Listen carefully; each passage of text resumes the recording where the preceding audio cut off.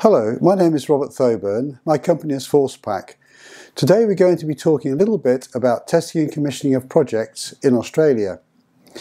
We know that construction companies are finding it very difficult to resource these projects in country as there is a shortage of staff at reasonable rates.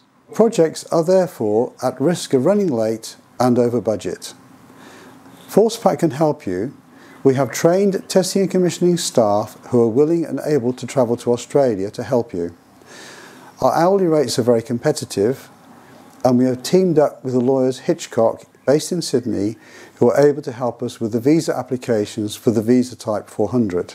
If you would like to know more about what we can offer, please read our latest news article on our website or contact me directly. Thank you for listening.